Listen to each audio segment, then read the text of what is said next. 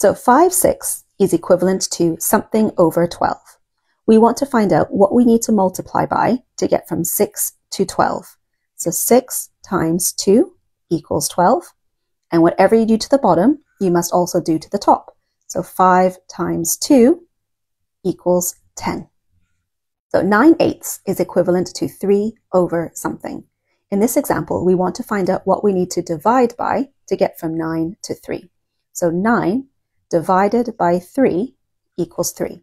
And whatever you do to the top, you must also do to the bottom. So 18 divided by 3 equals 6.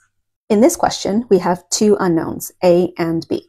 We're going to focus on the first two fractions first. What do we need to multiply by to get from 1 to 2? So 1 times 2 equals 2.